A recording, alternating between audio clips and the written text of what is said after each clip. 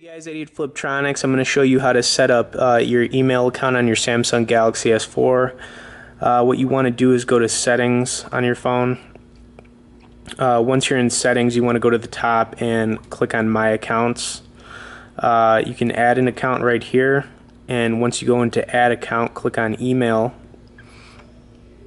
and you can set up your email here.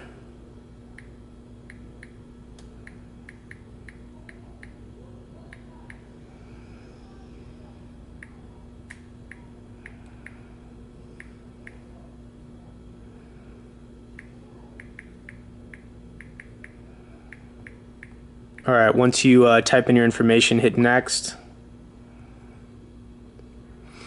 Okay, it's going to bring up um, a little, uh, a few options here. Uh, the first one, sync schedule. That just means how often you want your uh, phone to sync with your email. I'm going to leave it. You can change it to, uh, you know, once a day, 15, 30 minutes. I'll leave it for once every hour.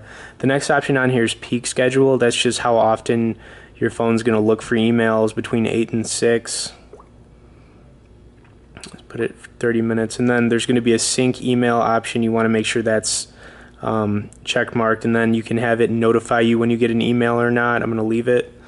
Uh, once you do that, you just hit next.